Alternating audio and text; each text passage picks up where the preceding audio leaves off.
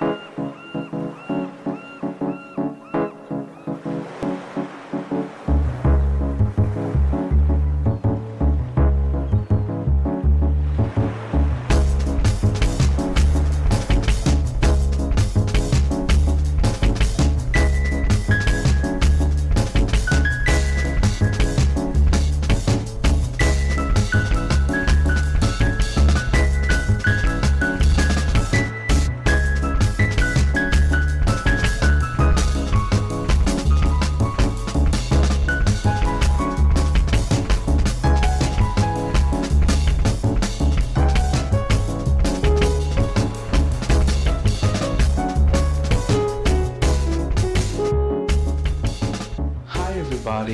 thank you for watching uh, Vintage Newscast.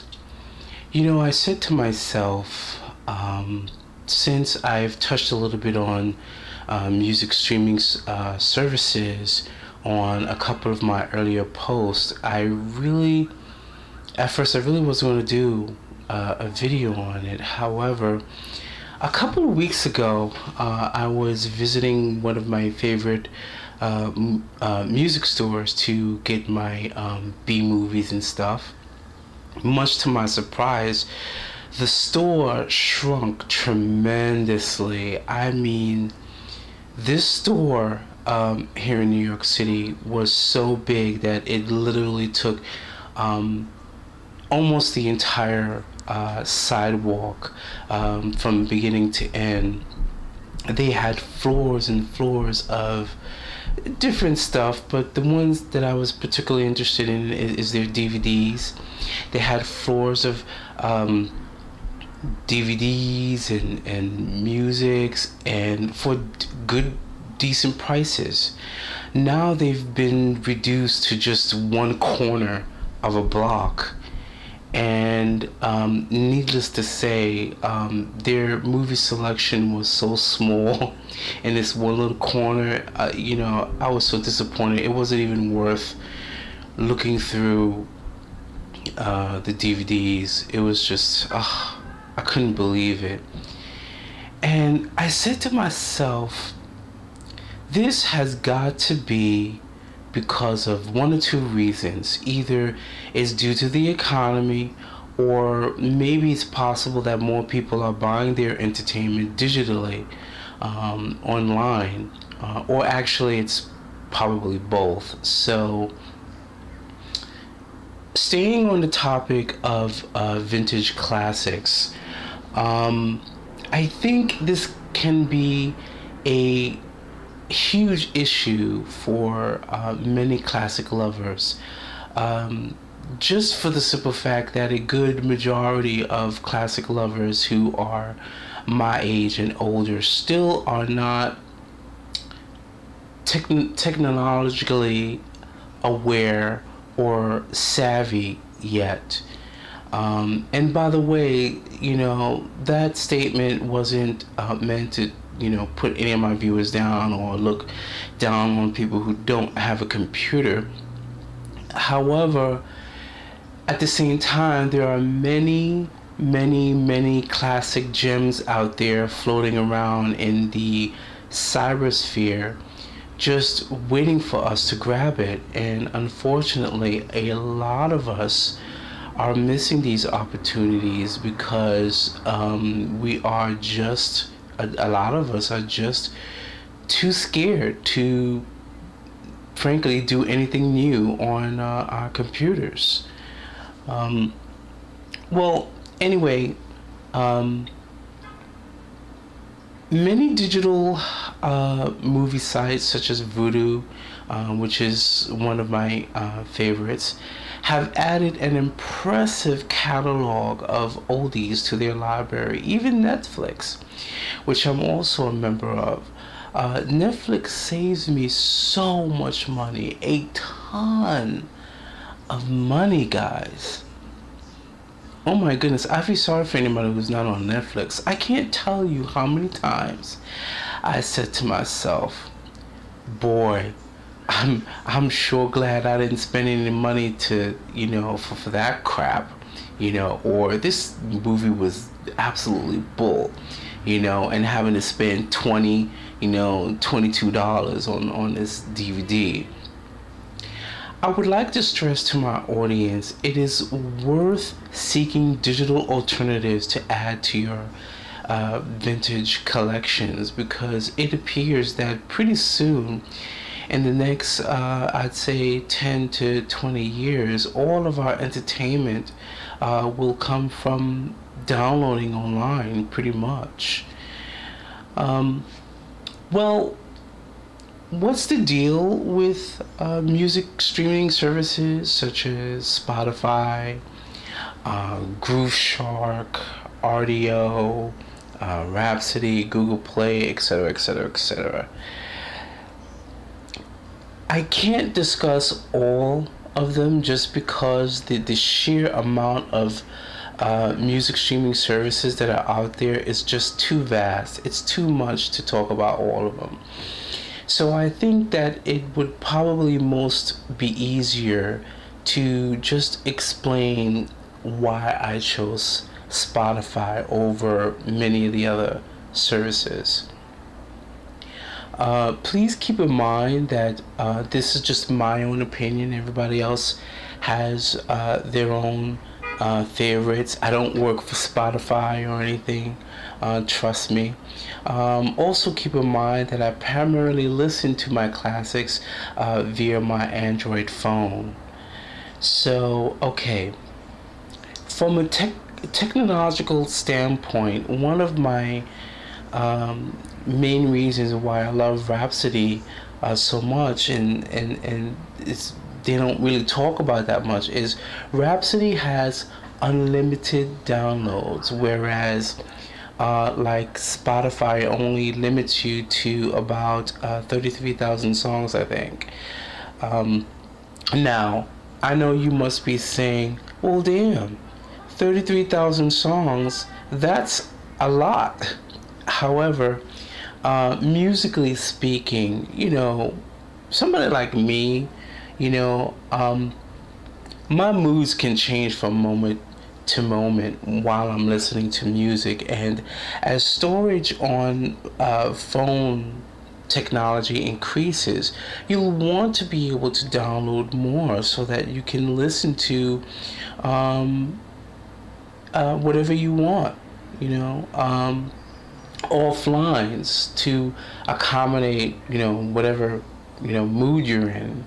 Uh, second, streaming services isn't always perfect. Uh, uh, especially while you're walking or doing exercise. I find that it's always much better to download your music beforehand, you know, before you travel, you know, get on a train or walk or whatever.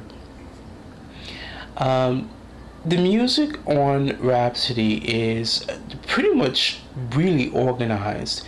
Uh, be it the Android app, the web, uh, the their desktop application. Uh, services like Grooveshark, um, most of their music is user uploaded, so the album indexes are always off. They they don't have the same names and uh, you never know what quality you're gonna get. Uh, sometimes you don't even you can't find a, a, full album. Most of the times you can't find a full album. It's almost like using the old, old, old, old Napster in a way.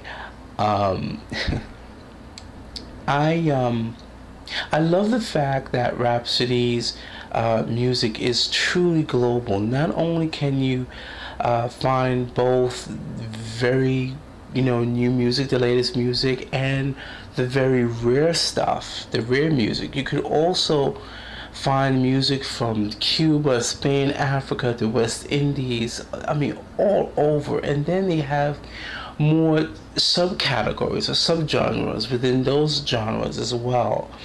I love the fact that the desktop application is very um, reminiscent of iTunes. I did not. It did not take me long to figure out um, how it works and how to use it. I love the fact that my um, albums and playlists are separate. Uh, with Spotify, it's not like that. Your albums are also your playlists. Um, the biggest technical plus for me um, choosing Rhapsody also is that I have the ability to point my downloads to my SD card, which is a huge, huge, huge plus. Unfortunately, um, there aren't that many uh, streaming services that uh, allow you to do that. You know, unfortunately. Um, recently, um, last week, I tried out uh, Google's uh, Play uh, streaming services. It really, really sucked. At first, I really thought this was my solution to being able to play both my personal music and my subscriptions um, with one application, which I've been dying for Rhapsody to give us that ability. Uh, but I was wrong. Uh, personally, you know, uh, that $7.99 special that they're offering is not worth it. and I'll uh, tell you why. First off, I can't um, point the downloads to my SD card. That's the big turnoff for me. And although uh, you can upload uh, music up to 2,000 songs, I think, on their server, your ID3 tags have to be filled out uh, properly. Otherwise, uh, your albums would be scattered all over the place, um, uh, you know, with no type of um, organization.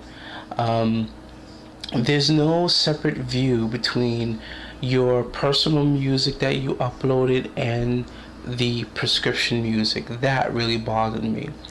The album um, section has uh, no option to view as a list, so it takes you longer to sift through your albums. Let's say if you're not sure you want to listen to, and you have to look at big icon graphics. So um, that was pretty annoying to me. Uh, the downloads took forever.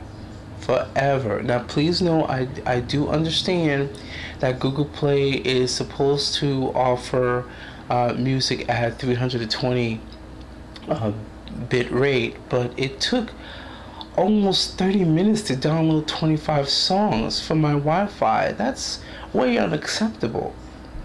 However, you know, with my Rhapsody, it took about three to five minutes with 192 uh, bit rate.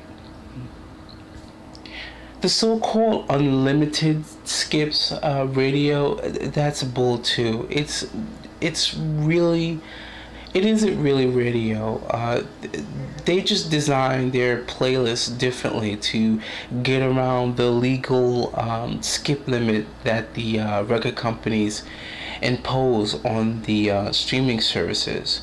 Uh, the Google radio is um, really like iTunes Genius. It's not really radio. Um, it starts off with uh, 25 songs and um, then it adds an additional 25 once it gets to the last song. Also, the radio um, selection isn't always as accurate in terms of uh, genre um, or in relation to the um, song you chose to um, put in a radio. Now, the bottom line, um, I've I haven't found anything that really can replace Rhapsody right now, in my opinion. I'll just have to live with uh, having to use another application to listen to my personal music. Um, to all of my visitors who are new to um, streaming uh, music, a word of advice don't try to base your decision on what streaming services you're going to use based solely on how much music that that service has cause trust me a lot of them really really suck. That shouldn't be your only reason as to why you think something is good a, service is good or not. Um, because they really are not always good. Unfortunately, although I have to be honest, most of Rhapsody's customer service doesn't have a clue what they're talking about half the time. You know, their phone customer service. Um, but the product itself is pretty sturdy. It's it's, it's pretty um, solid. Um, I can honestly say I really haven't had that much of a major problem with Rhapsody. I mean, it wasn't nothing that I couldn't work around or just tweak my phone a little bit for.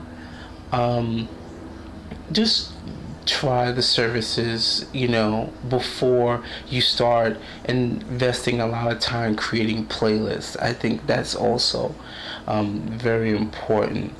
And don't listen to um, a lot of these bloggers that try to compare Pandora with with uh, uh, Rhapsody. They are totally two different animals um, and services. Some people they don't want to pay for anything. I mean, that's cool. You know, um, that's you know that's what you want. Um, but for those who don't want to pay anything, you know, stick to Pandora or iHeartRadio. For those of us real music lovers who are power users and prefer music on demand, um, however and whenever, uh, then I suggest uh, trying Rhapsody first. Actually, um, like I said in the beginning, uh, the uh, the vast amount of emerging um, streaming services that are coming up is just you know unbelievable it'll make your head spin but know that they can um, potentially save you a ton of money. That's the most important thing, regardless of which service um, you use. Um, pretty soon, they're um, uh, they all gonna pretty much, you know, offer the same thing, with the exception of you know um, maybe certain varieties of music which should be like that because you know that may entice you know good competition it's all about your personal preference. Um, I just prefer Rhapsody more, not just because of um, what I mentioned earlier, but for now, they are not dependent on social media to help us find um, music. I really like that. I'm really tired of all the Facebook and Twitter integration that seems to be happening now. Aren't you? Well, uh, um, think I talked enough about it. Um, thank you guys for um, watching, and um, I hope this opened your eyes to um, uh, what's going on um, over the internet. and I think this can really help us, you know, classic lovers, you know, a lot because things, you know, rare things is becoming really, really, really hard. I really missed going into the store and looking at an album cover, looking at a DVD cover, and seeing, you know, um, looking at the art, the design, especially old movies, you know, Bargain Basement movies. You know, you see some of these B movies and you're like, oh my god, look at the cover. You know, you either, you know, laugh because it looked funny or, or you or you're just like in disgust because you know you, you just never know what you're going to see with these um, um, the art in these B movies and you know and also turning the DVD in the back and, and and reading the descriptions and seeing the actors you know and I don't know it's just a different experience when you, when you get these things in a store. It's really uh, while technology is a beautiful thing um, I also uh, miss um, the old days when I used to buy a lot of my oldies in the store and meeting other people who like the same things and you kind of chat about you know the movies that you like you know and you know that that kind of doesn't exist when you're online so but anyway uh, thanks guys for watching. I hope the video helped you out and see you next time. Bye.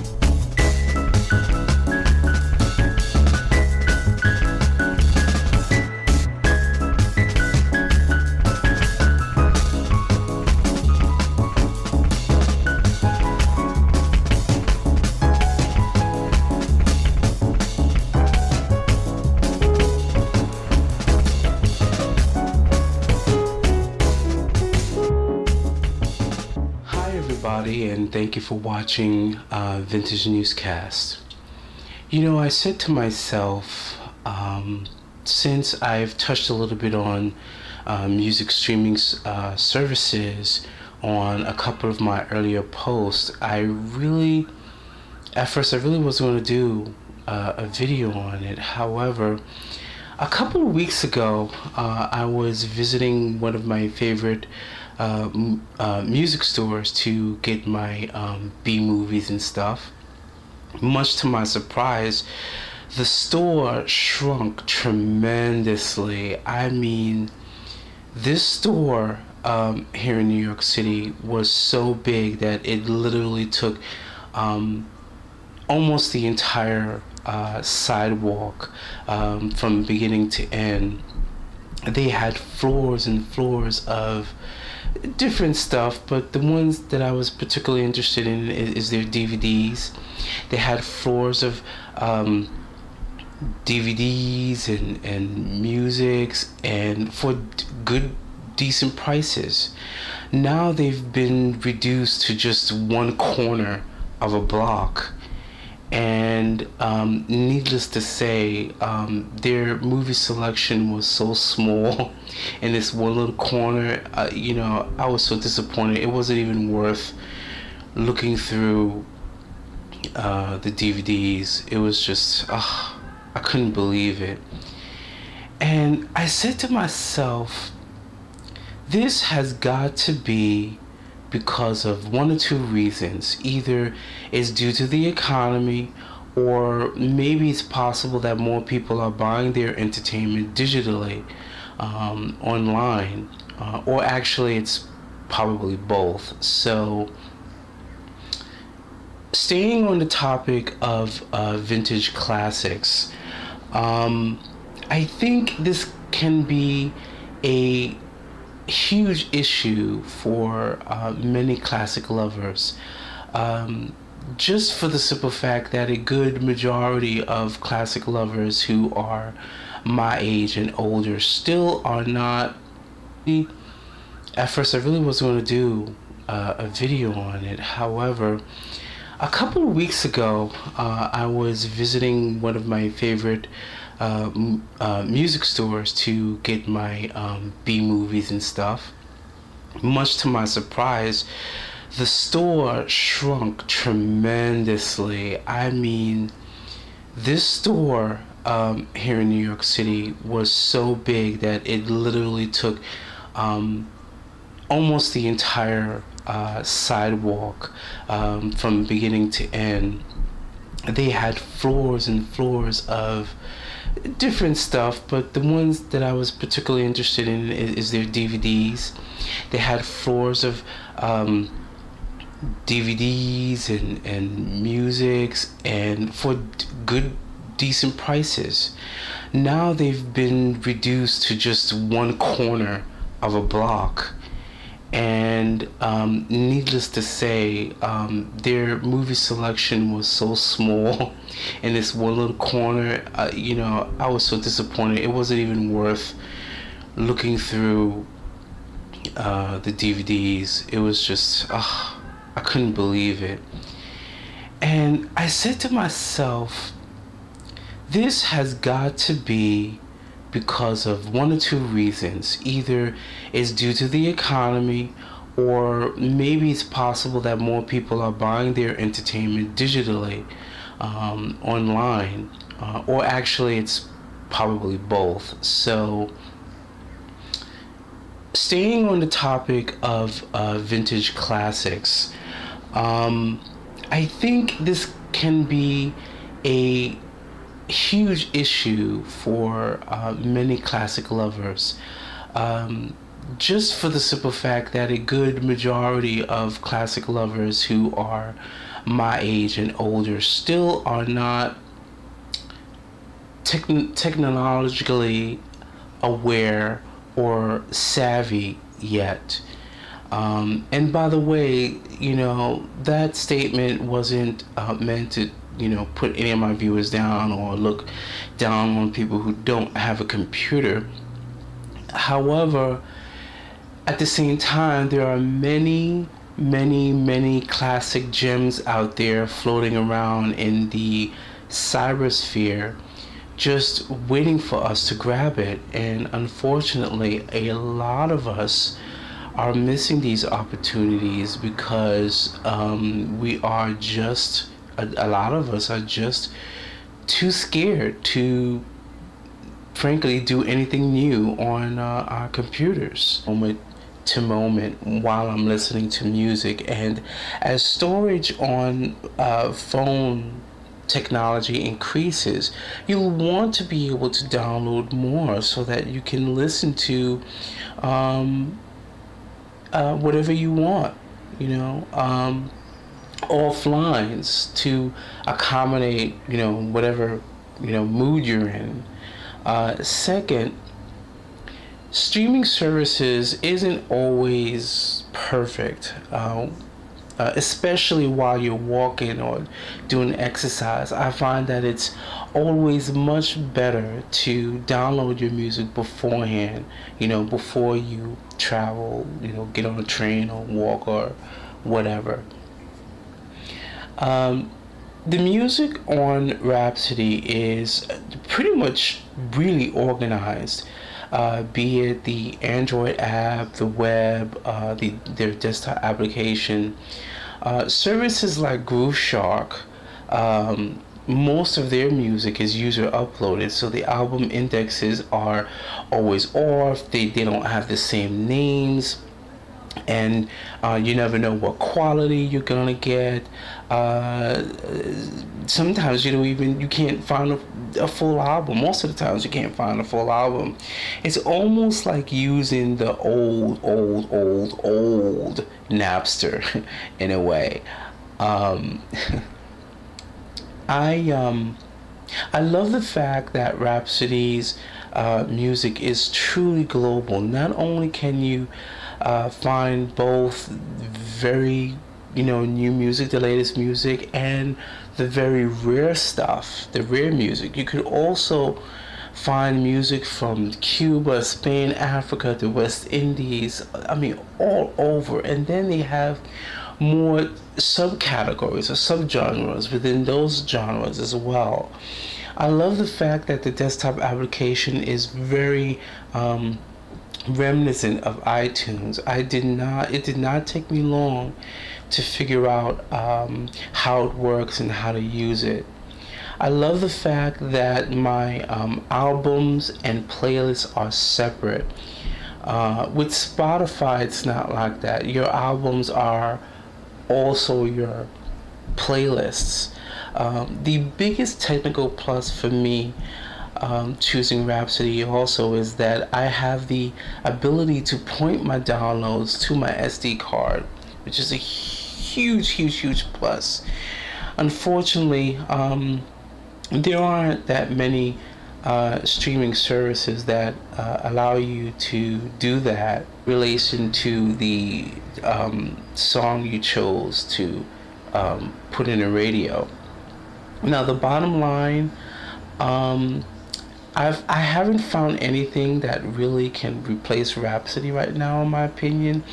I'll just have to live with uh, having to use another application to listen to my personal music.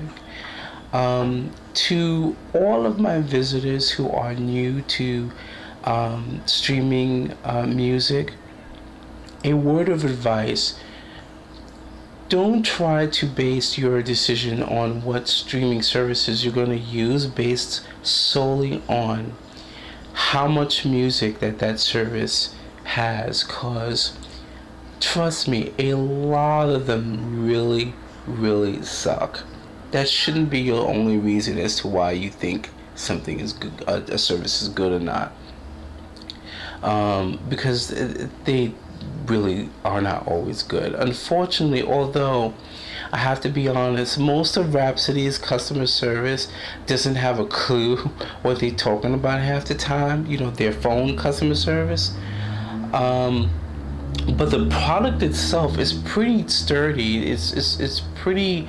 Um, solid. Um, I can honestly say I really haven't had that much of a major problem with Rhapsody. I mean, it wasn't nothing that I couldn't work around or just tweak my phone a little bit for, um, just try the services, you know, before you start investing a lot of time creating playlists. I think that's also um, very important.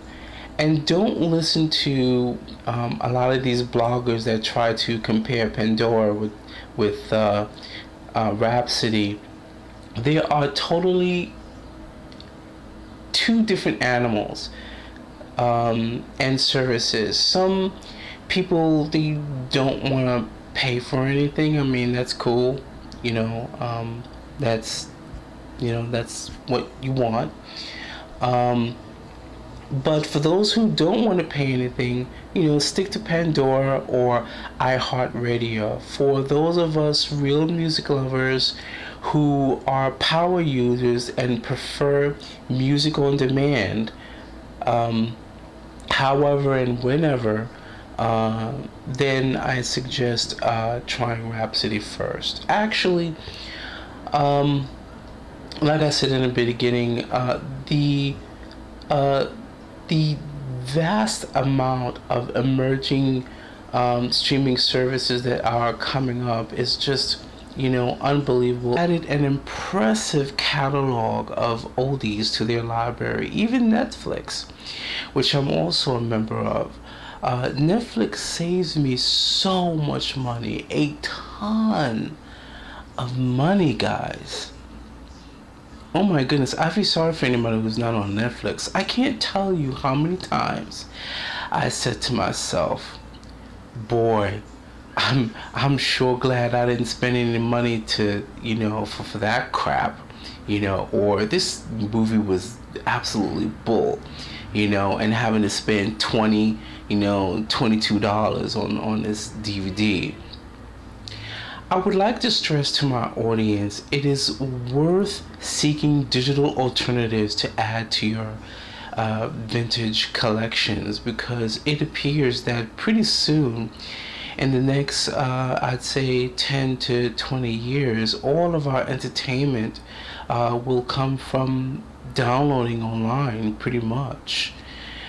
Um, well, what's the deal with uh, music streaming services such as Spotify, uh, Grooveshark, Rdio, uh, Rhapsody, Google Play, etc., etc., etc.? I can't discuss all of them just because the, the sheer amount of uh, music streaming services that are out there is just too vast. It's too much to talk about all of them. So I think that it would probably most be easier to just explain why I chose Spotify over many of the other services. Uh, please keep in mind that uh, this is just my own opinion. Everybody else has uh, their own uh, favorites. I don't work for Spotify or anything. Uh, trust me. Um, also, keep in mind that I primarily listen to my classics uh, via my Android phone. So, okay. From a tech technological standpoint, one of my um, main reasons why I love Rhapsody uh, so much and, and, and it's they don't really talk about that much is Rhapsody has unlimited downloads, whereas uh, like Spotify only limits you to about uh, 33,000 songs, I think. Um, now, I know you must be saying, well, damn, 33,000 songs, that's a lot. However, uh, musically speaking, you know, somebody like me, you know, um, my moods